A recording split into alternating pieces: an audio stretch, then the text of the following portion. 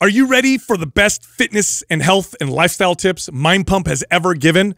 You're going to love today's episode. We give you 21 of the best tips of all time. Also, we're going to give away a program because we're giving people.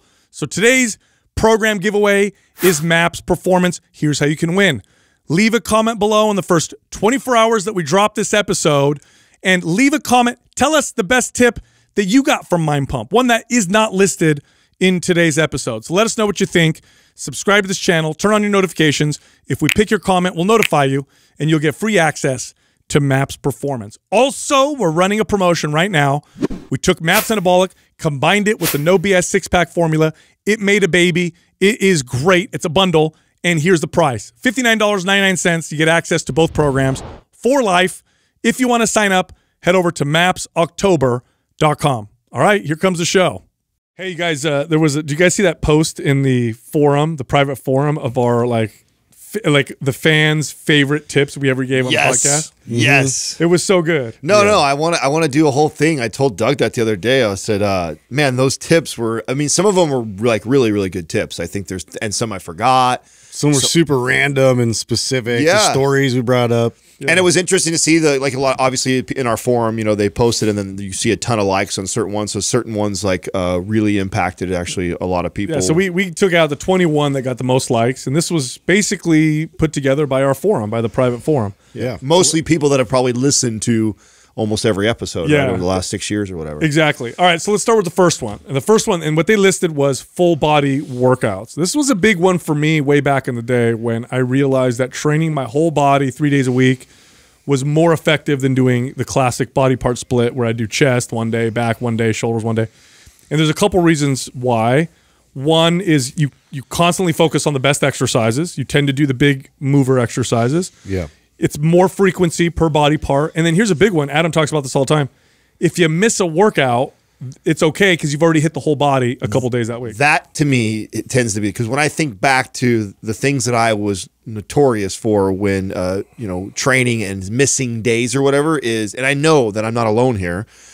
You know, you you fall off for a couple weeks, you get busy, you go on vacation, whatever your excuse is, and you don't train for a while. And when you start back, where do you start? In your favorite split. body part. Yeah, your favorite body part. You always start on your favorite body part. And if you're like, oh, I'm not really feeling like going to the gym today. Well, what di- what day is that? It's the day. You, Leg day. Yeah, it's the day you don't like doing. And so over time, that compounds and it makes a difference. And so when you're doing a full body routine, you know, you miss a day, you you miss everything equally. When you start back up, you start back equally on Oh, everything. well, this was game changer for me because I actually enjoyed training legs finally. Yeah, because before that, it's like you hyper focus on That's your legs, good point. and it would just oh, I would dread uh, those days or the days preceding leg days, especially. But Well, this yeah. is the way all strength athletes and bodybuilders worked out uh, before things got crazy with anabolic hormones and stuff. And, and so this is where I got the inspiration. I saw like, man, they all work full body three days a week. They all looked incredible. This is even before supplements were around. And they were incredibly strong. And I tried it and it worked and it was superior. And this was kind of the cornerstone of MAPS Anabolic, the first MAPS program. Well, and this way of training also feeds into the second tip, which is stopping two to three reps short of failure. Yes. Mm-hmm. And because I was training so frequently and I was hitting every muscle group two to three times a week, I I, I got better at okay, I don't have to go so hard because in two days I'm going to hit buys and tries again or shoulders again or whatever mo- whatever exercise I was doing. Where in the past, you know, it was possibly one day a mm-hmm. week I was hitting a body part, so I felt oh I need to hammer it. I need to hammer it so hard because I'm not going to revisit again for another seven days. You know, we've had the show now on for about six to seven years. I'd say six and a half years. And some of the stuff was blasphemy. yeah. Telling people not to lift to failure seven years ago was blasphemy. People actually hammered us over it. Now, you, you, of course, one of my favorite moments in our entire career was when studies came out to confirm what we said. They started comparing going to failure to not going to failure. And what did they find? Not going to failure typically results in better results for people. Doesn't fry the body too much, doesn't hammer the central nervous system too much. And again, I experienced this with myself. When I stopped short of failure, I would improve. When I would always hammer intensity, my body would plateau. This completely shattered like my entire focus of training because I've been drilled by all coaches I've ever had that mm-hmm. it's like go hard or go home.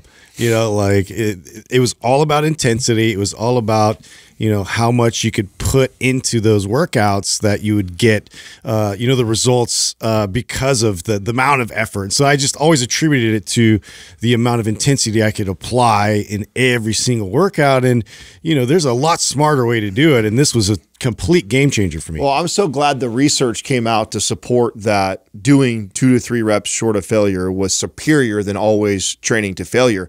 But I always knew as a trainer that this was a better strategy for my clients when it came Yeah. to form and technique. Yeah. Because when it came to form and technique, I was really strict to my clients, right? And so I wasn't I wasn't concerned about training to failure hardly at all with them.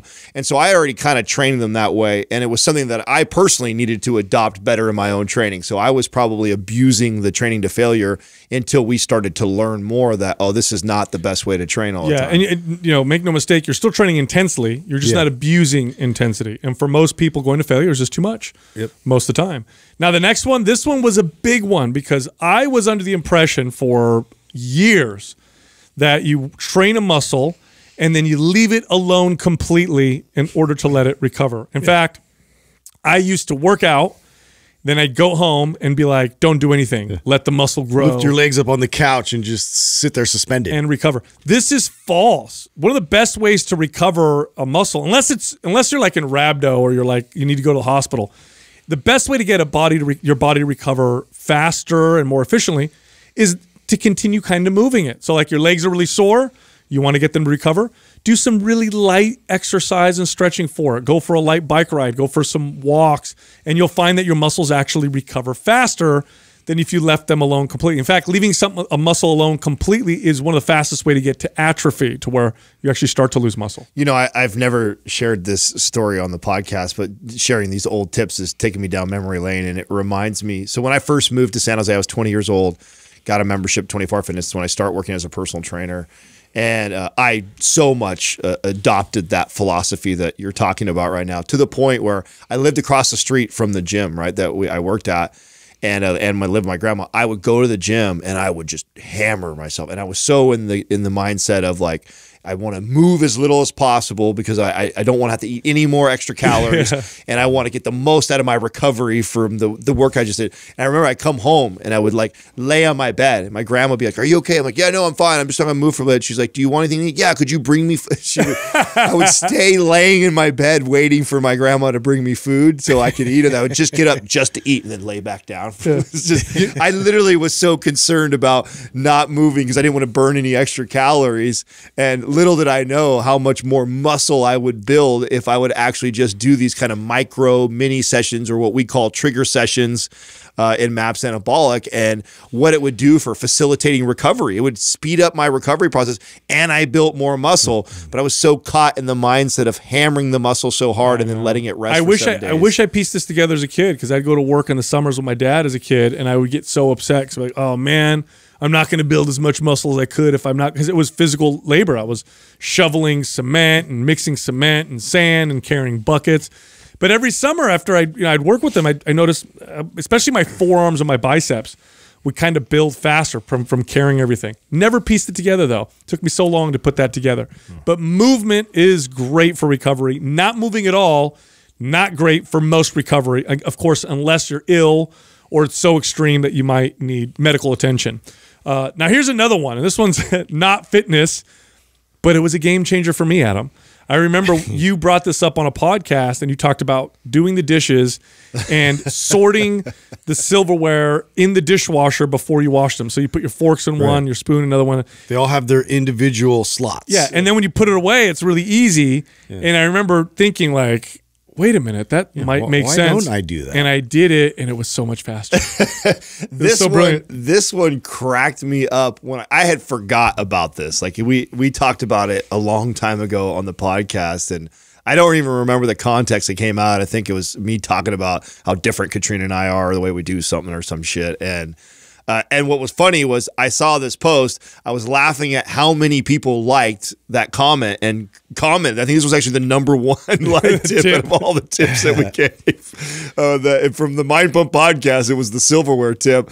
Uh, and then to hear you and Doug both go, dude, that was actually I changed the way I did that, and I had we had never talked about that outside of that podcast. So Of all the of all the tips you've given, yeah, I know that's what Really I'm known for. the park there. I'm known for the silverware tip, forgetting science or programming or nutrition or anything You know, like this is called like a life hack at this point, right? It was though. I, it was. A, it was a. a I and I wish I could give the credit to whoever it was that, that taught me or told me first. But you know, afterwards, it, to me, it's just like, why would you never do that? We just we just kind of. bro, I used to mix them all together, and then you're right, putting them away was the biggest pain in the ass. Yeah, you time. hate it. You and, and you know, I remember like getting it, getting the dishes out and and dreading the silverware portion of it because it's like, oh, it sucks. It takes forever to do that, but it's so much faster. So. Absolutely. All right, so here's a, another one that this one's more. Now this was a fitness one, and this was also quite impactful, and it's the do what you're not doing Hmm. Advice that we give. Now, what this is referring to is the novelty effect that exercise, uh, specific exercises may have, or rep ranges, or rest periods, or just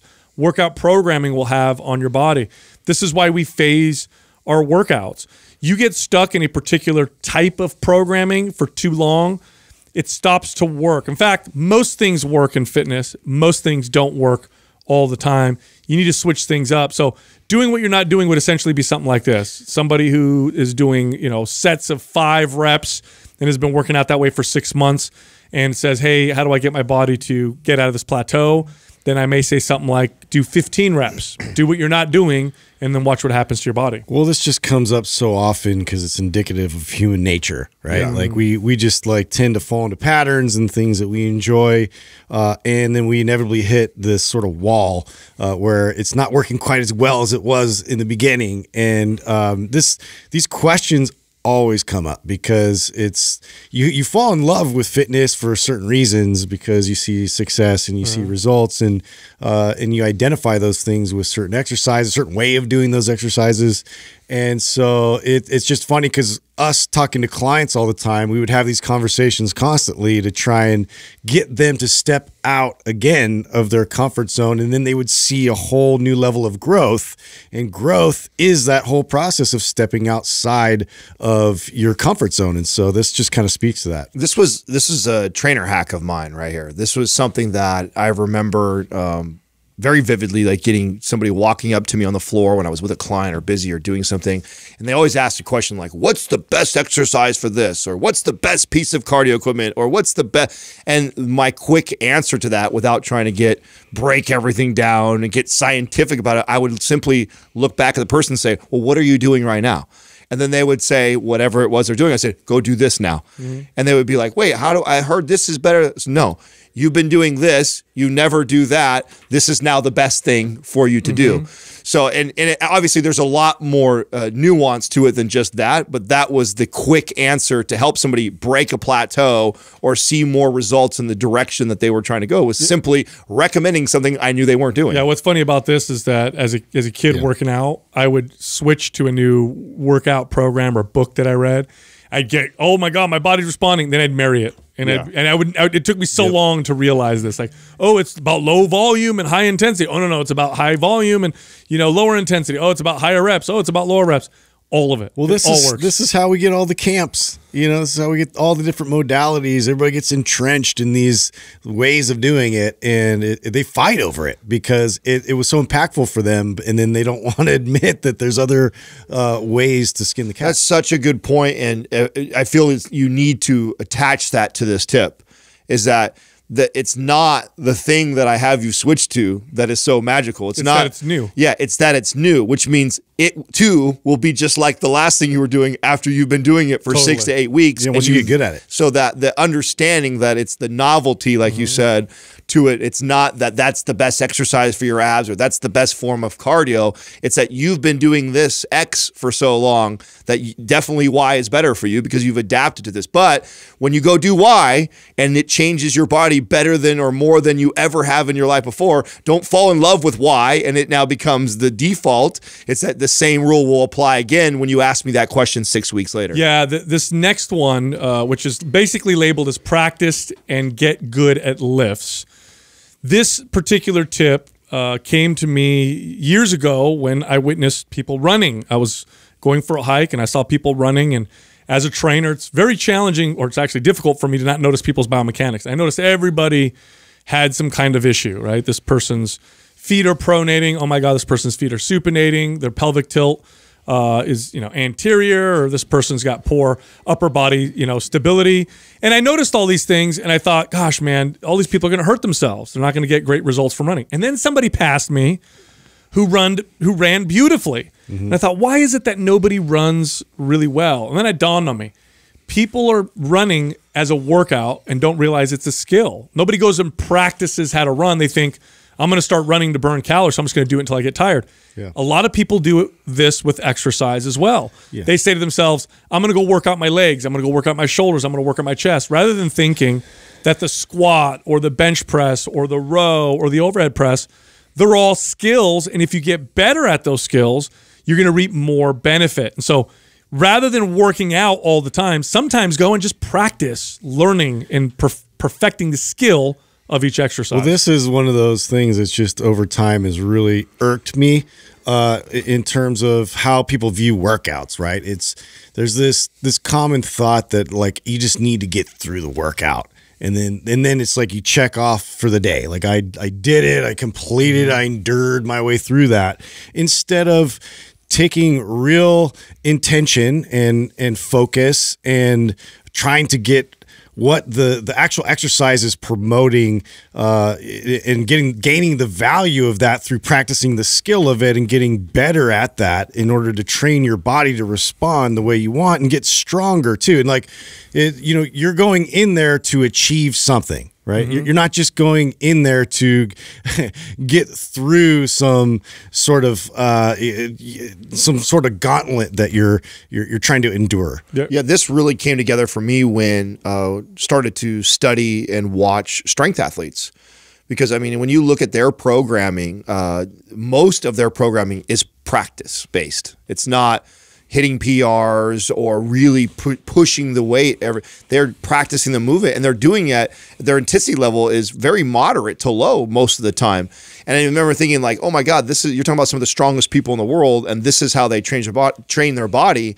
I know the benefits of getting strong just for the average person, for that's looking for overall health, longevity, building muscle, burning body fat. So why are we not trading that same way for people that have goals like that inside the gym. That was the first thing, that kind of aha moment for me to start to apply it that way. Not to mention, it puts a lot of emphasis on the mechanics of the movement than it, it, than it does, like you were saying, Justin, the the punishment or getting through it, the sweat, the burn, and focusing on that, which that's splitting hairs as far as how beneficial that is to you. Mm-hmm. But getting really good at a movement, well, that could be huge. Well, here's here's a good comparison, right? If if you're trying to throw a football as far as possible, a like large a large portion of your training is going to be on technique mm-hmm. the technique of throwing the football. I know I'm stronger than most high school quarterbacks.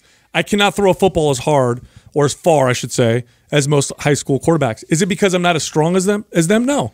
It's because they have better technique. Okay, what's the goal of an exercise? It's to build muscle, improve strength, mobility, burn body fat.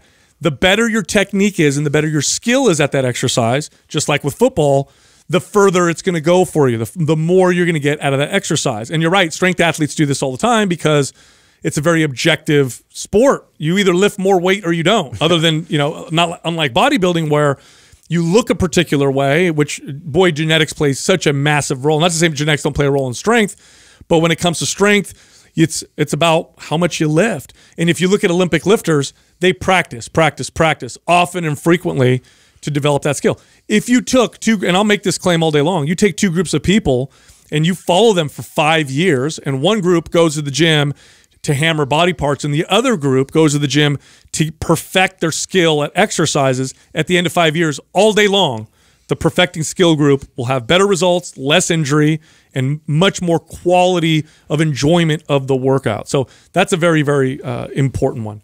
All right, here's a here's another one, and this one sometimes we get mislabeled, uh, which is, you know, stop doing so much cardio. Now, what we aren't saying is that cardio is bad for you. Cardio is not a, you know, not a great form of exercise. It doesn't have value. All forms of exercise done properly and appropriately will bring you benefit. The reason why we talk about cardio sometimes in this way is because people believe cardio to be the number one form of exercise for fat loss or weight loss. That is totally false. It's actually a terrible way to try to approach fat loss and weight loss, and it can actually result in your body usually paring muscle down and slowing your metabolism down, which makes then long term success all but impossible. Well, I just remember the hardest clients for me to help as a trainer was not the client who was, you know, 100 pounds overweight, ate, you know, fast food, sat on the couch and did nothing all day long. And then now they came to see me and changed their life. That client actually was pretty easy. You know, get them eating the correct foods, get them moving a little bit, and their body would just respond. And then we would be building muscle, burning fat. And the clients that were fucking really hard to help were the clients that came in and saw me and they needed to lose weight and they had tried so many things on their own and their ways of trying things included reducing calories and doing high intensity classes or cardio to get there and when i got a hold of them they would look at me and say adam i need this help i need to lose 50 pounds and here's what I'm eating. And when I look at it, I'm like, that's all you're eating? Mm-hmm. And you're doing all this cardio and we're here still? That person had They're in a a hole. Yeah, they're in such a hole with their metabolism that I'd have to spend the next six months not getting them much results as far as fat loss, but just rebuilding their metabolism so that we can then lose weight and then they can maintain it and keep it off. So that's why I think I all of us hammer cardio so much because that is a very common scenario if you're a trainer. yeah. If you've been training long enough, this is actually, I would argue, a, a bulk or a majority of your client falls in this category. So you wonder why we hammer that shit so hard because it was probably one of the number one things Yeah. that made it difficult for me helping people out. Yeah, it's really hard because uh, it, it, I look at it very, very much in the same light as like crash dieting, um, in, in the in the sense that you see results from it, like, and you see sort of this like uh, your body definitely changes. You you lose overall weight. Uh, and they come in with like, well, this worked for me. Like this worked. I got down a couple dress sizes. You know, weight on my scale went down, and they have like this sort of success story. But like, then they can't keep it. They can't keep that off. They can't. Uh, they have no more energy. Like they're in, they're in this hole, like you said, and like it. To be able to tell them now that you know we need to rebuild and, and work on that specifically, and not do what uh, you know they thought in their mind led them towards success is a whole uh, challenge in front of us as as coaches to deal with. Yeah, now cardio training's got health benefits, uh, and if it's applied and used appropriately for the right person, it's got tremendous benefits across the board. But it's a terrible cornerstone of your workout if your goal is fat loss. It's not good. It's actually will shoot you in the foot. The best form of exercise, if your goal is fat loss, is resistance training. All other things uh, being equal. And now that brings us to the next one, which is about reverse dieting. Now, this is not something that we invented. However, this is something that we talk about a lot because one of the best strategies for long term success is to build up your metabolism, is to end up with a metabolism that's faster at the end of your fat loss journey than it was when you went into your fat loss journey. Part of that is what's called a reverse diet, right? I start lifting weights. The goal is to build muscle, boost my metabolism. In order to fuel that extra muscle building, I also have to feed my body appropriately. And through that process, I build this roaring metabolism to where I lose 30 pounds, but now at the end of my 30 pound weight loss, I'm eating more than I did when I first went in.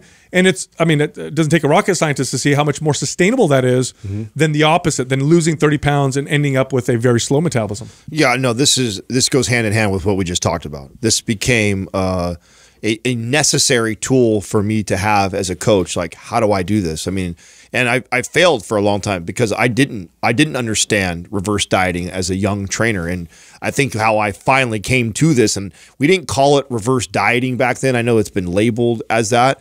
But it wasn't until someone made it very clear what was going on with their metabolism, and because I used to think clients were lying. That was like I used to really, I used to really think Yep, that my client, oh, she's got to be lying. She's telling me she's 100 pounds overweight, and she's telling me she's eating This is law of physics. Yeah, that's that's how I figured this. This is impossible. There's no way this lady is eating only 1,500 calories and she's 100 pounds. She's lying to me.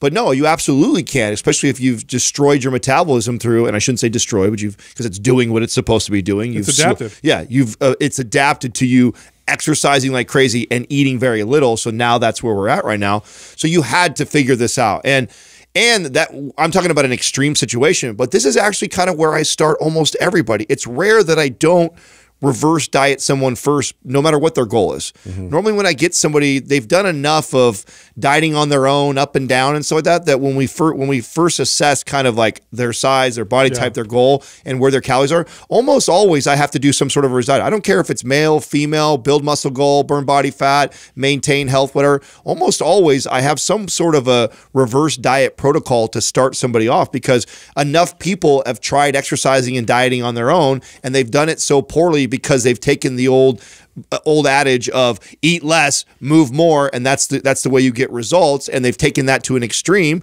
that their body's adapted and slowed the metabolism down. That I now have to reverse diet them out. Yes. Now this next one, another non-fitness tip. I think this one also came from you, Adam. Uh, and this is one I, I haven't done because I refuse to do it. However, I will admit there's some brilliance in this, which is you say you one time you told a story oh. about how and in the middle of the night when you get up to go pee and the, and the lights are you don't want to turn the lights on, you don't want to miss, you don't want to pee off the side of the toilet and whatever you sit down when you pee. Can and we? A lot of people love that one so for them. They thought yeah. that was so great. Can we know? please give me the credit for the science ones too? Because at the end of this podcast, people are going to be like, "Wait a second." So the the tips that were Adams were the forks, and that no, there were some fucking other ones in there that yeah. were science yes, related. Yeah, that were my, great domestic that tips. Were, yeah, okay. were my All tips. This, yeah. this one, Justin and I just refused. Like, yeah, I don't know. we still, refused to subscribe, but that's okay. Yeah, you know, I think I think this came from uh, you know at an early age, I had my own place, and uh, having probably a girlfriend at the time that we split, you know, cleaning and keeping the house clean together and the times that I even had to clean my own toilet. And I remember going like, God damn, man, I just cleaned this thing last week and there's uh, spots all over the side of it, this and that. And, yeah. you know, no matter how much I try to aim perfectly and shake not too hard so it doesn't go flying anywhere, it's inevitable. You're a hard shaker. Yeah, yeah, yeah. I did, you know, so I, that, and then of course at nighttime, you're half asleep and flipping a light on wakes you up and so you don't want to wake up. And so the idea of going in and sitting I mean I will give you credit uh in this I I just made the shirt look it's not on the list but like the wet wipes okay? Instead of just the toilet paper I think that should have been on there. Yeah. Uh, instead of this was that was not in the, the game changer I didn't see it. You know what? That was one you said so early on in the podcast. I think people forgot about it, but honestly, yeah, I've eh, forever since like had that in the bathroom. Yep. And another non-science one. Dude, I'm, yes. telling you, I'm telling you, bro. You're ch you've changed my life. You're the life hacker, bro. yeah. Just moving along. All right. So yeah. next next one. This is a fitness one again, and this is where we talk about priming and mobility. You know, this is imp- now. I you know I don't want to take the credit for this in terms of you know Mind Pump taking the credit this was hammered into us as as coaches and trainers because we trained a lot of everyday regular people and most of them came to us deconditioned and most of them came to us and couldn't do the most basic exercises with good it's form. the unsexy stuff and and we were taught you got to get them to move well before you do these exercises because if you don't, they'll injure themselves. And so we just always started there. And I always saw such tremendous value in doing this. And then I would apply it to my more advanced clients, which was more rare. Usually clients came to us who were, you know, kind of like I said, everyday people. And then I applied it to myself. And all it does, it improves the quality of your movement, improves your ability to connect to your muscles. This is how you squeeze out more out of your exercises by yeah. working on your connection and your mobility this is what priming is. This is what we talk about when we talk well, about mobility. I mean, I got really, really into this, and and mainly because I again I saw the value personally when I decided to you know put a lot more focus on a lot of these mobility moves and what that did in terms of just my overall athleticism improved, but really just like the reduction of pain and, and joint pain specifically. Uh, I, I, just would notice that, um, yes, I would be getting stronger in the gym and, and I could lift quite a, a bit on, you know, the bar, but uh, I would always end up hitting this wall. And, and I would I would get to a point where uh, my my joints would, would just start to scream at me louder and louder and louder to where I would think that inevitably have to start reducing weight and kind of start the process all over again and see if I can get past that this time around. Uh, instead of really focusing on the stability and mobility of my joints uh, and, and, reinforcing that more. Uh, and so, you know, taking my time through that and then also working with clients because that's the other part about i think trainers and coaches is a lot of times we're so much better with applying these things with our clients than we are our own bodies uh, in the way that we train because uh, you know for some reason we think we're impenetrable uh, you know towards this. So uh, it, it was just so substantially different in terms of you know my overall performance increase but but also just um, you know everyday life was just so much so much better because I was like pain free.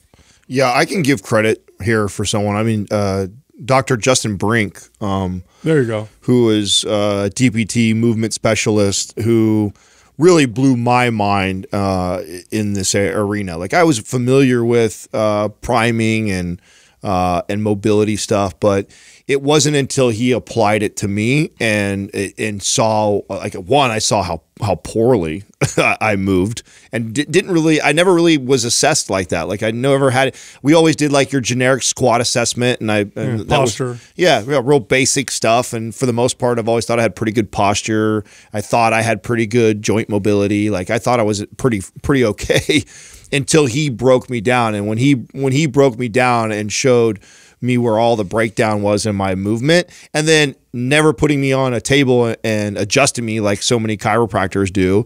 Uh, he just assessed the moving and then taught me how to prime. Oh my God, like it completely changed the way I thought about training and even preparing for training. And so I, I you know, even though I was familiar with it before, um, I've got to give him credit for the one who really solidified that for me. And then obviously that's why we designed uh, Prime and Prime Pro with him. Yeah, just real quick, if you don't even know what priming is, it's like you know you warm up before your workouts, and that helps you move better and it reduces injury. Priming is much more specific to your body. What parts of my body do I need to get to fire better? What areas do I need to get dynamically warm? Uh, so that I can perform this particular exercise for how I move. If my shoulders roll forward, I may need to prime by bringing my shoulders back with a particular exercise. If I have an anterior pelvic tilt or a posterior pelvic tilt where my butt sticks out or it tucks under, there's different priming movements for each one of those types of posture to make me better at, you know, for example, squats, right? So priming is individualized warm-ups. They improve the performance of your workouts and make your workouts far more effective. That's that's essentially what they're all about. Now the next one, mini cuts and mini bulks. You know, the first time I really figured this out was when I realized that the best period of time whenever you're cutting your calories and noticing fat loss tends to happen in the beginning. It's towards the end of the cut that you start to notice a lot of strength loss and muscle loss. And the same thing was true for a bulk. I'd bump my calories and go above my caloric maintenance. And it was that first few weeks where I get stronger and oh my God, I'm not gaining body fat, I'm just gaining muscle. It was after that when I started to notice diminishing returns and just started gaining body fat. And so what I started doing with myself and my clients was what if we shorten these? Instead of doing a 12 week bulk period, what if I did three weeks of bulking and interrupted it with a week of maybe a little cut and then went back to bulking? Would I end up better off at the end of the 12 weeks with more muscle gain and less fat gain. And sure enough, that's what ended up happening. This is kind of like that novelty thing that we talked about do what you're not doing. There is a novel effect when you cut calories or when you bump calories to where you get the most benefit. And, and also psychologically, of course, staying on a cut for a long period or on a bulk for, bulk for a long time period without interrupting it with the opposite, boy, can that get tedious. Yeah, I, I understood this philosophy earlier, but I didn't really apply it to myself until competing. When I competed and and you know time was crucial, right? Like timing was crucial. Uh, you know, and I was trying to everything I was trying to do was the fastest, most effective. Uh, was the first time I really uh, was measured about this you know, in the past, I would know, oh, I've been bulking for long enough. I shouldn't be bulking too long. Let me transition out. But never where where I was, you know, super methodical about it. Um, I was for competing, and it, it does. It makes a huge difference. It makes a huge difference when you when you switch back and forth, and both goals. So it doesn't matter mm-hmm. if your goal is fat loss or your goal is building muscle, switching out of the the diet that you should be kind of following for that and going the opposite direction for a, a short period of time. So the, the mini cut version or the mini bulk version of that. Uh, interrupts that. And I think it is that novelty that the, the body was getting so used to being overfed all the time that you got to think that it starts to adapt to this and whatever all the all, all the mechanisms that that slow that process down or whatever, switching gears and going the opposite direction seems to reignite that and then going back to what you were doing. I've just found tremendous success with that while I was competing, and then forever have taught other people to do it that way. Yeah, it's very parallel, I think, to what we found with training as well. Like there's a sweet spot, you know, to maximizing your benefits uh, in certain phases. And the same thing with like eating. It's like you want to maximize those benefits and you want to be disciplined enough uh, to move on uh, in, in order to keep challenging your body so that way, you know, you keep progressing as opposed to just sort of stringing it out a bit too long. Yeah, and the studies, by the way, support this. You can look up studies on diet breaks, and they find better results, less muscle loss, more fat loss in dieting. And uh, I don't know if they've done these on bulking, but I'm sure if you if they did, they would find similar, more muscle gain, less fat gain uh, with bulks. All right, so this next one.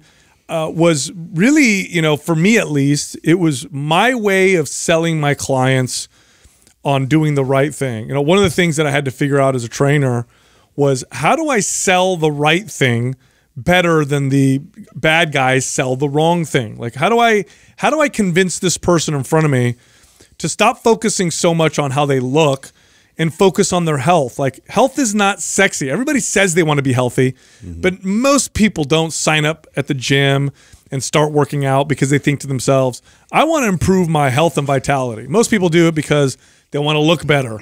They want to burn body fat. They want to look hotter in the in the skirt or better in their t-shirt or they want to look better at the beach.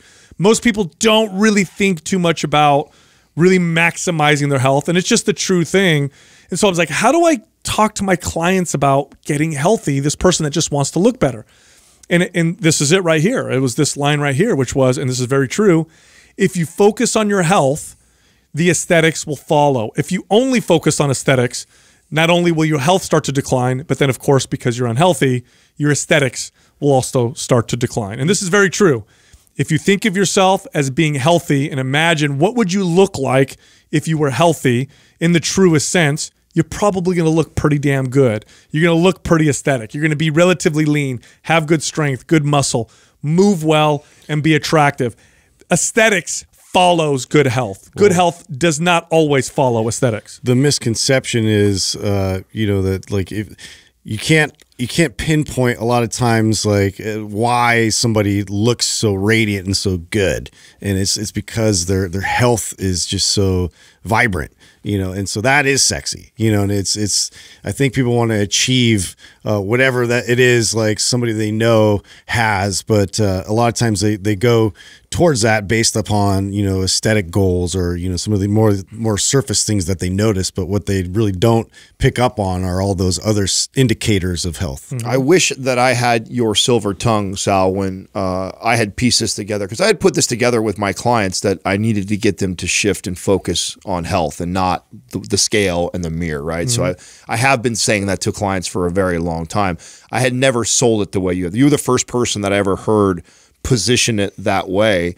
And I thought it was brilliant because I had known from the previous training before we all met that, oh, if I could get my clients to think about their skin, their hair, their mood, their energy, their sleep, their sex drive, and get them to connect the dots to all these other things and attributes that they get from training and exercising and dieting, then then I can get them to not worry so much if the scale goes up one pound or down one pound, or they wake up one morning and they feel a little bloated, or bad lighting that day, or or they have one bad off day of eating and not spiral out of control. If I could just get them to focus on all that, then I know that they're more likely to be consistent and not worry about all the little ups and downs uh, of of what they look like visually or what the scale says to them but I had never heard anybody communicate it uh, that well before. And I do think that you were the first person that I know that had ever said it like that. And it, it's very, very true that you can chase aesthetics all day long. It doesn't necessarily mean you'll be healthy. And in fact, I remember that being so confirmed when I got into the competing space and met all these competitors who I just assumed would be some of the healthiest people I've ever met in my mm-hmm. life. And in fact, the opposite was true. Some of them were the most unhealthy people I'd ever met in my life just because they looked great didn't mean they were taking care of their health. And, and the worst part is if they continue to pursue that, if they continue to ignore health and always go after aesthetics, The irony is they lose the aesthetics Right. as their Yep. health starts to decline. And that's a selling point to a kid who doesn't care about health and just wants to look good. And that's what makes it so effective. The next one is eat for how foods make you feel. So I'm going to get a little bit more specific because most people, all people eat for the way foods make them feel, but they only focus on one feeling, which is the enjoyment and palatability of the food, right? Nobody really connects to all the other ways that foods make you feel. And so they're ignorant to them. And so when they rank foods or they make food choices, it tends to be about, well, you know, what do you want to eat for lunch? Well, I don't know. Let me try Mexican. Let me try pizza. Let me try. wh- And they think to themselves, which one's going to taste the best? Mm-hmm. Which one's going to give me the most hedonistic feelings? Now, there's nothing wrong with that, by the way. There's value in enjoying those hedonistic feelings that you get when you eat food, but you can't just concentrate on that. If you do, you'll end up obese, unhealthy, inflamed with chronic illness, and with a bad relationship to food. What we have to start to do is connect other dots to food. And when you do that, you'll actually start to crave these things. And I found this for myself. When I had all my terrible gut issues in my early 30s, I was forced to focus on this. I was completely forced to focus on this. And I started to figure out the foods that helped my gut and then made me feel good. Mm-hmm. And then later on, when I would go traveling, and for example, lots of vegetables, well cooked, were very important for me to have good gut health. One, when you travel, it's hard to get lots of well cooked vegetables, right? It's hard to get them. So when I come home, I'd have a craving for a bowl of boiled broccoli or spinach, which doesn't taste very good. It's not very mm-hmm. palatable. There's foods that taste way better than that. And yet I crave these foods because I connected them to how I felt. And it wasn't just, again, the palatability. So this is very important. And you can do this to yourself. And if you practice this, you'll find eating healthy becomes enjoyable. Well, that's the key word is practice. It's not easy. It takes training, just like uh, anything else we're, we're mentioning. And this is something that, you know, I had personally had to work on quite a bit uh, with like changing the associations around food too. And just really being a little more self aware as to, you know, why you're seeking out certain types of foods. And then figuring out, you know, when I do eat these foods, you know, how can, can I trace back as to which foods you know were involved in you know proceeding the way that I feel right now this moment? And and to be able to kind of track and trace that it takes a bit of work and discipline but once you can start to go through that process you realize like that's that's where you find those uh, the you know those healthy foods that really do help uh, with digestion or they really help with you know I sleep better when I when I consume these types of foods or I feel like my workouts I perform a lot better because I'm introducing these foods instead of always kind of leaning on that you know taste pleasure and all those types of signals. Well, this one goes hand in hand with the last tip. Yeah. So uh, many times when you say the statement, you know, chase health and aesthetics will follow. The next follow up question that you always get is, well, what does chasing health look like, and how is it so different than mm. aesthetics? Well, this is what that is. It's learning to connect the dots to all these other health markers: skin, hair, mood, sex drive, mm-hmm. all the things mm-hmm. that I was talking about. So you know they go hand in hand. If you if you understand that, and if you can get a client to focus on it, then the aesthetic part will follow. But this is what we mean by pay attention to how the foods make you feel. Yeah, this is uh, this is how I got myself to enjoy fish. I hated fish growing up. Couldn't stand fish uh, growing up, and then I you know, learned about the health benefits and said, you know, let me give it another shot. Let me pay attention to how I feel. And I went on vacation. I was in southern Italy, lots of great fish places to eat there, and I started kind of eating more and more. And I noticed my joints felt good, my digestion felt good. Once I connected those two, I created this subconscious connection between the two. Now I can actually enjoy eating fish. And I swear to God, I hated fish before that. So it's oh, really, really interesting. All right, the next one is focus on the big rocks. What does that mean? There are things that have big impacts on your lifestyle and the quality of life and your health and your fitness. And then there are things that have small impacts on those things. We tend to get caught up in the small things because it's the small things that the supplement companies and the fitness industry can typically sell you, right? So, what are the small things? Uh, make sure you have protein right after your workout. Incidentally, I make this protein shake that's really convenient. or, you know, here's a slow digesting protein over a fast digesting protein. Make sure you eat super fast digesting carbs instead of complex carbs post workout. You know, this one's a little higher in leucine. Leucine is an amino acid that triggers muscle growth. And here's a fat burner that shows in studies to increase fat oxidation or whatever. And we focus on all these little things and we forget that 99% of your results come from basic exercises practiced appropriately, done properly, good programming, decent nutrition, don't overeat, get good macros, kind of avoid heavily processed foods, get good sleep. That's like 99% of all your your your, your results. And the rest, all that other stuff, honestly, don't even focus on it if you don't do the big things first. Yeah. Oh, you said that perfect. There's not anything to add to that. It's literally the the whole point of this. I use that one all the time. Is you get people who ask questions about the latest supplement or this new study that came out that's that Mm. this edges this out, but instead of doing it this way, to do it All that the way. xenoestrogens out there. I got to get them all out of Yeah, and I'm like, listen, if you're not checking the boxes that you just listed right now, if there's no reason for you to worry about that one thing, go visit one of the big rocks first and get be- and by the way, even people that are quote unquote checking the boxes still probably have room to improve the big rocks, right? So maybe you get you consider yourself a good sleeper, but you really haven't put together a sleep routine or really made an effort to actually prepare yourself before to go to bed and try to optimize it. Well, go optimize your sleep before you look for the latest supplement or the new cutting edge science that says this edges this out. And so I think that the big rocks are everything. Not only should you have to check all the boxes, but then you should go back and revisit am I optimizing all those those boxes before you even get into all the nuance do all things. that before you worry about EMF exposure. Yeah, Is, is actually I think it was one of you guys that said it was like trying to get your car to go faster and spending Yeah, your money on, on the spoiler Yeah. and the and the and the racing sticker on the mm. side. Yeah, and not on it the engine. literally amounts to stickers. Exactly. All right. So this next one is about women and bulking. Okay. The word bulking, just the word bulk.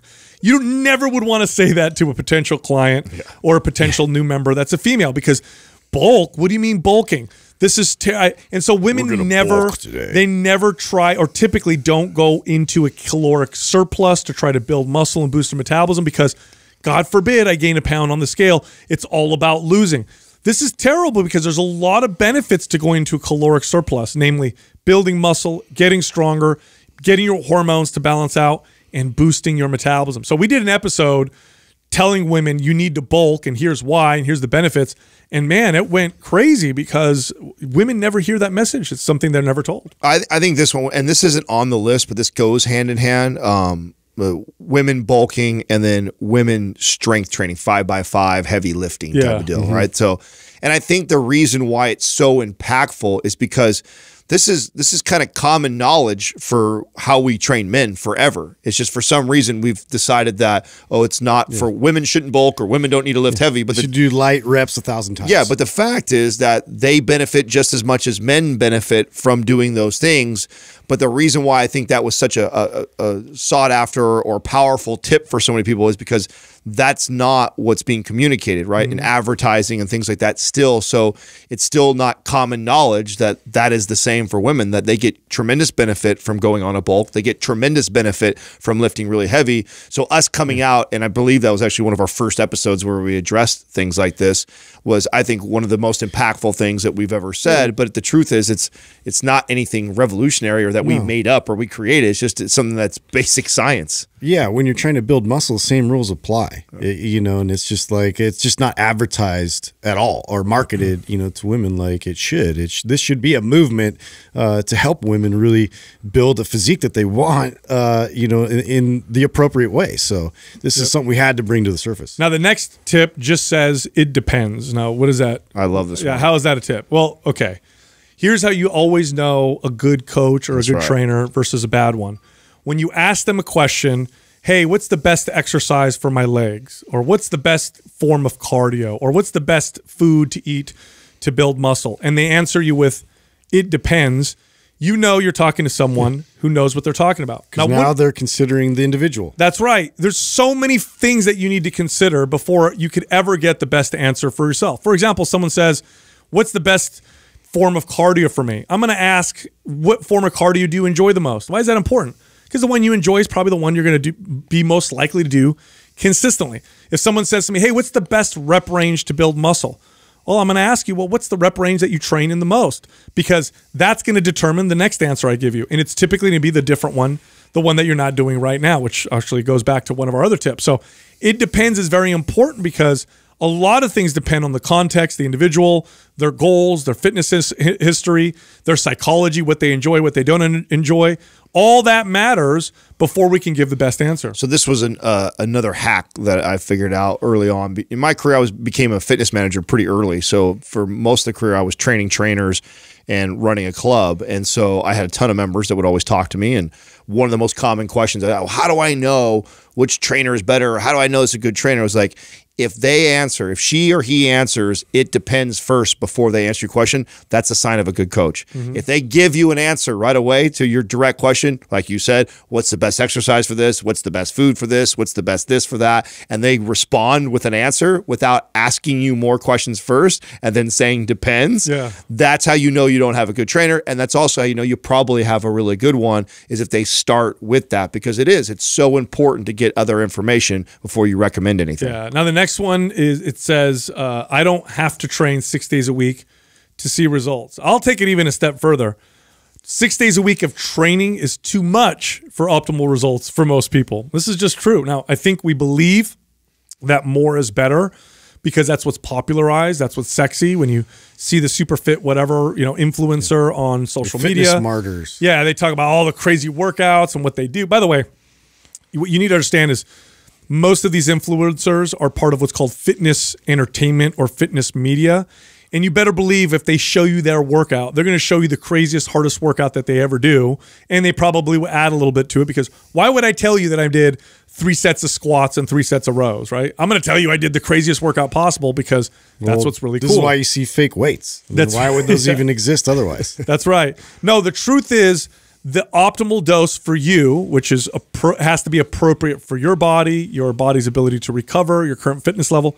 That's what's going to get you there the fastest. Any more than that will get you there slower, and less than that will get you there slower. And six days a week of training tends to be too much for most people. That's some that's someone who's real advanced, who's really built themselves up to a certain level. That's the person that might want to train that much. This was uh, up there with one of the biggest tips or game changers for me uh, because I, I kind of, you know, applied training the same way I applied almost anything, anything else I do. Just more, more is better. Work harder at it. Like that's the answer to more results or getting better at something.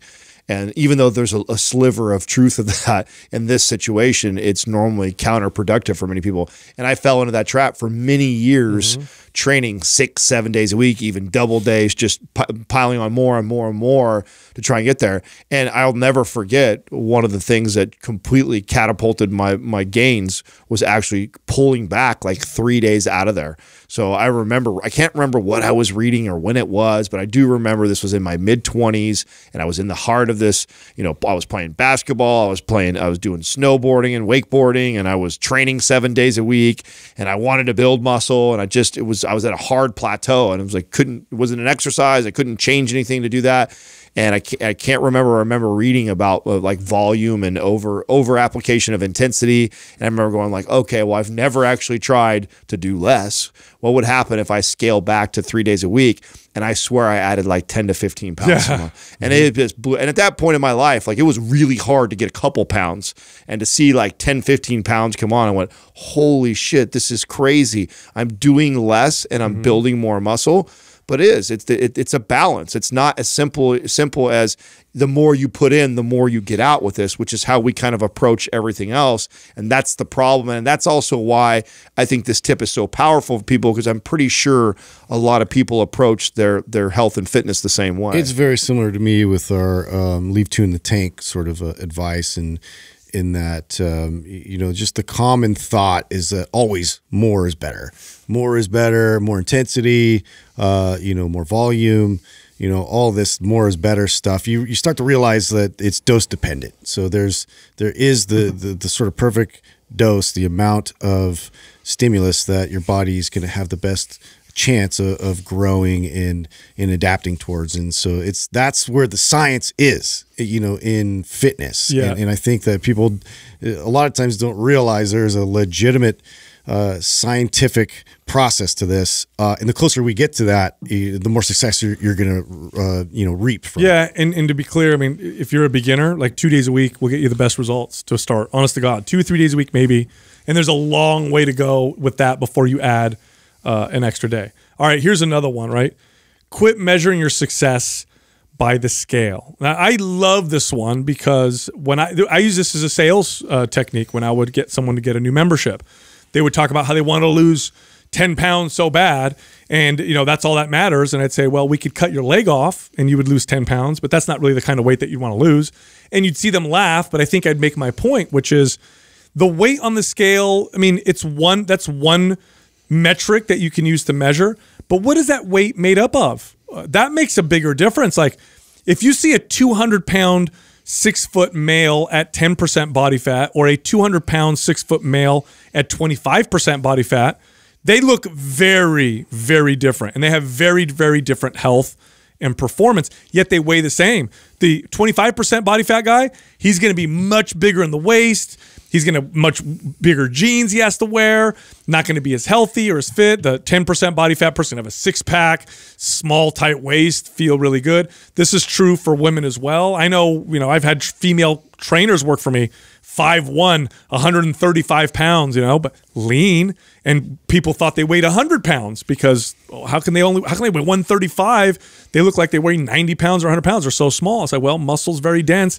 And the scale tells you some of the story, but it, it, doesn't tell you anywhere near the whole story. It's not just that; it's also uh, how much our bodies can can change. The look and the scale can change hour by hour and day by day. Yeah. It's it, it, it can fl- I mean, stress stress will change the way your body holds on to water. So you had a rough day at work, yet your diet was perfect, you trained, yep. but had a really stressful day either at home or work, and all of a sudden your body will hold on and retain water. And all of a sudden you'll look bloated or fat, but you didn't get fat all you did was hold on to some water. You might had that day decide to eat, you know, a couple handfuls of uh, sunflower seeds and seasoned your food or ate out twice and you normally don't eat out at all. And now you've, you know, taken in double to triple your sodium intake and now your body holds on to more. You might have been 50 to 60 grams more carbs that day. And so your body holds more water. You might have drank two or three more glasses, all those things. And I'm talking, and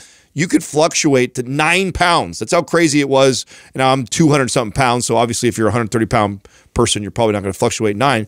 But someone my size has fluctuated as high as nine pounds yep. through the night. And that wasn't me gaining or losing fat or muscle. That was just a fluctuation of water. And that makes a big difference on the scale and how you look in the mirror. So being attached to the ebb and flow of the scale and the how that changes Terrible. can really throw you off on what you're doing because what I would see would happen is and many people are guilty of this they're doing something they're doing the right thing they're doing a great job and then they have exactly what i said a stressful day a little bit more sodium drink a little bit more water some of the, and all of a sudden the scale goes up two pounds and their goal is to go down and what do they do they overcorrect now mm-hmm. now they go oh shit i was overeating or i didn't do enough cardio so then they ramp up cardio cut calories yet they were right on target. They had no idea. I'll never forget having clients, and, typically this will be female clients that would say this. They, would go, they'd have to cancel workouts for the week because they'd get the stomach flu, right? Stomach virus. Then they'd come back and they'd say, "Oh, I had the stomach." But you know what the good news is?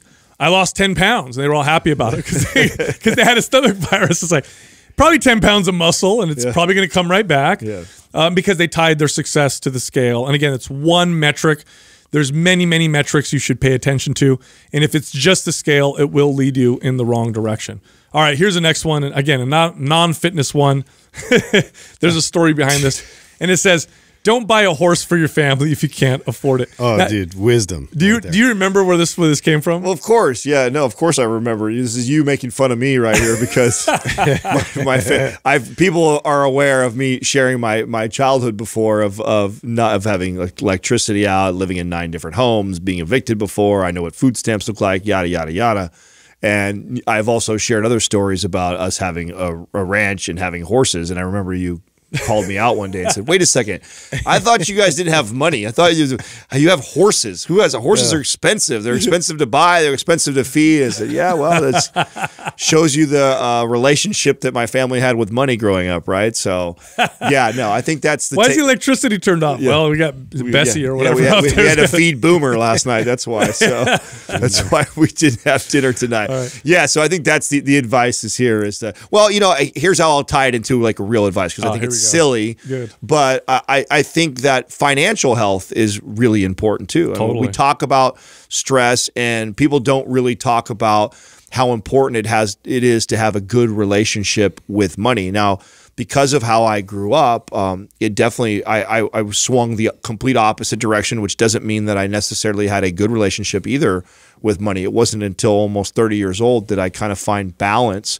uh, with my relationship with money. And I think a lot of people's relationship with money is uh, out of whack. They don't. Uh, they have a very poor relationship. So I do think there is uh, tremendous value in in looking into that. If you're somebody who's never really analyzed or been self-aware about you know what is my connection to money and my relationship to it do you hoard it do you blow it do you flaunt it like all these things are signs of your relationship with it and assessing that so important. Like financial health is is skills. It's skills and discipline. Like I have like I have friends that I know uh, are often in financial trouble. I know often uh, if they've had to got evicted or they've had to sell their car or things got repoed. And you see the gifts that they get their kids and each other for Christmas. And I'm like, you bought your kid, you know, the new Xbox and three games. Like that's like eight hundred dollars or a thousand dollars. Like, what are you doing? And it's just it's poor financial health, right? It's not really you know having a good connection uh, to money, and it just results in poor health, and that often results in a lot of problems. All right, so the next one, fall in love with the process. So here's here's where I'll go with that, right? So if you have two people uh, and one person is just in love with walking itself. They just love taking step after step. And the other person really is in love with getting to a particular destination. Which person is going to walk farther in their life, right? The person that loves the process. Now, how do we apply this to exercise? Imagine if you enjoyed the process of eating healthy. Imagine if you enjoyed the process of training your body you would never have to worry about reaching a goal or hitting a new PR or hitting a body fat percentage. It would happen as a result of loving the process. And it wouldn't be nearly as much of a struggle as if you're like, my goal is lose 15 pounds. And then you get there and like, all right, what do I do now? My goal is to, you know, gain 20 pounds on my squat. And you do that and you're like, all right, what do I do now? The process is everything. If you love the process, the goals hit themselves. Yeah, because a lot of times the opposite is like I'm so fixated on this goal that I'm going to ignore that, you know, there's certain things I'm doing right now I just really can't stand. Like I have this just view of, Yeah. you know, getting up early in the morning, like, you know, beating myself up. It's like all of these negative associations involved with the process. But, you know, for, you know, a pretty long amount of time, you could sort of go through that and push, like, you know, push through all the pain. And, you know, honestly, that's the majority of the message that we see all over the place on Instagram. Uh, We see it, you know, from all these influencers out there, you know, the 5 a.m. club, you know, like, like defeat your inner bitch or, or whatever they call it these days.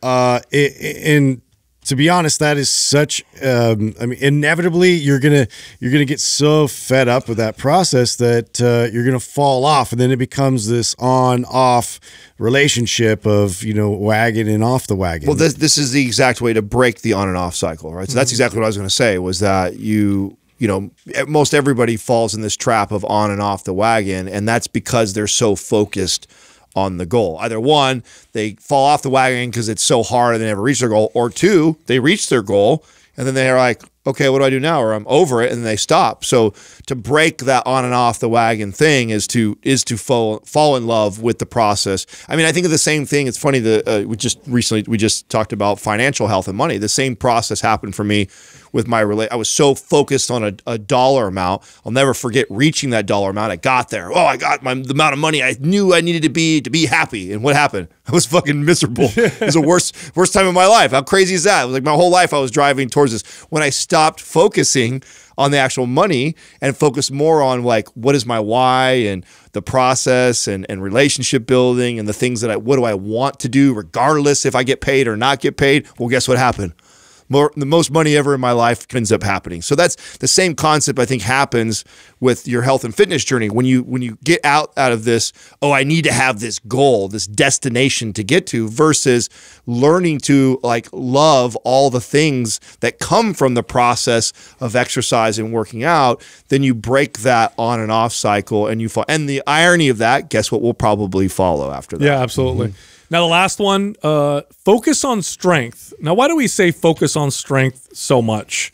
Is that the most important or the, the only metric you should measure? No, of course not. But here's why strength is so great it's objective.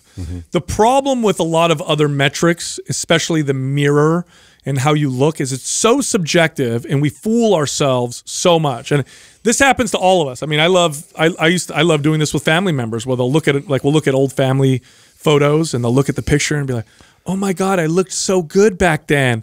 And then I'll remind them, "Yeah, back then you used to say how bad you looked." And you'd see their face like, "I guess I did." Like, what's, you know, this is really it's really weird. I thought I looked terrible. I looked so good. It's all subject most of the things that we tend to measure and follow with exercise are these subjective things. Strength is objective. And here's the other thing about strength. If you're getting stronger, you're probably doing a lot of things right. It's hard to get clicking. Yes, it's hard to get stronger and do a lot of things wrong. It's very, very challenging. So if you're in the gym, you're working out, you're like, wow, I did another rep. Wow, I added five pounds. You can pat yourself on the back because you're probably doing a lot of the, the right stuff and you're probably putting it together in the right way. It's also the gateway of breaking that that bad relationship with the mirror and the scale. Mm. So this is the advice I think that we all give when mm-hmm. if if in the same you know all of us got the same or question from a client about oh my god I'm so worried about the you know the scale goes up down blah blah blah this that I know exactly what both of you would say the same mm-hmm. thing that I would say to that client is throw away the scale. Stop worrying about that. All we're going to worry about is getting stronger right Totally. now. So even though a client comes in and says th- all they care about is I want to look this way or I want to be here, I want to weigh this much, or I want to look like this old picture of me or like that, I know exactly how the, the two of you would advise. It's the same thing that I would advise is just by hearing that, I know right away I need to break that person from that that relationship that they have. And then I need to get them focused on on something that is more objective and that has put them over on focusing on strength. And I know that that stuff will come later. Yeah, this this first I first figured this out years ago. I, I trained a therapist, and then she loved my training so much that she referred to me a, a, a patient of hers, with her permission, of course, who is a recovering anorexic, and so we I had the opportunity to train this person and work with the therapist on the training. And I remember the therapist telling me, no scale, no mirror, no body fat percentage testing because this this person it'll it'll it'll set them back and they they have a bad relationship with their body. And I thought to myself and I said, you know what I'm going to focus on? I'm going to focus on them just getting stronger. And the therapist said, yeah, I love that. Let's do that. And it worked. It worked so well. This client enjoyed working out, focused on getting stronger, and it encouraged them to eat more, develop a different relationship with food. It's this again, it's a subjective metric. And again, if you're getting stronger, you're probably doing a lot of things right. Look, if you like our information, head over to mindpumpfree.com and check out our guides. We have guides that can help you build muscle or burn body fat or get a better relationship with food or improve your health.